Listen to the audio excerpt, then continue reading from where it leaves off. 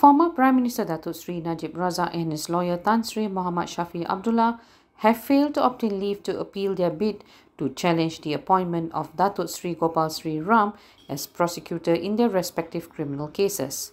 A three-man panel of the federal court dismissed both applications by Najib and Muhammad Shafee in an unanimous decision on Monday.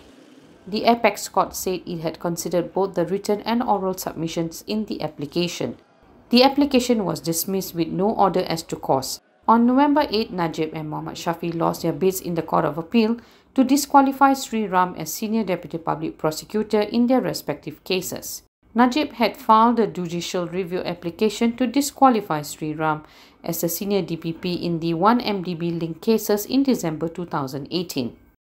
Muhammad Shafee, who is also Najib's counsel, also filed for a judicial review as he was too seeking to recuse Sri Ram from his 9.5 million ringgit money laundering trial.